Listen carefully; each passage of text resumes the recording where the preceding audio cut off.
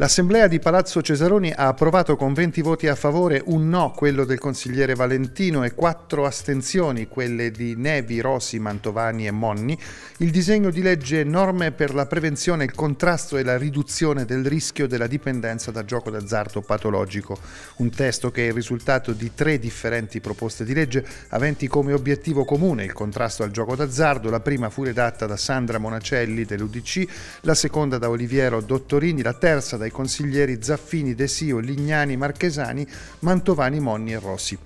Le finalità della legge sono quelle di prevenire l'insorgere di dipendenza da gioco e contrastare il gioco d'azzardo patologico, sostenendo le persone affette da tale patologia e le loro famiglie attraverso un aiuto da parte delle strutture sanitarie, l'istituzione di un numero verde per segnalare le problematiche, il coinvolgimento e la formazione di associazioni e operatori del settore, l'informazione estesa a cominciare dalle scuole, la distanza di almeno 500 metri delle nuove nuove sale da gioco da scuole, centri per anziani e altre strutture vulnerabili.